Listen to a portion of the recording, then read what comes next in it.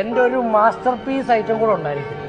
എന്താണത്? അത് കണ്ടു കഴിഞ്ഞാൽ നിങ്ങളുടെ ബന്ധുക്കാരും നാട്ടുകാരും കുടുംബക്കാരും ഈ പറയുന്ന ഗ്രാൻഡ്മം എല്ലാം അറിഞ്ഞിട്ടുണ്ട്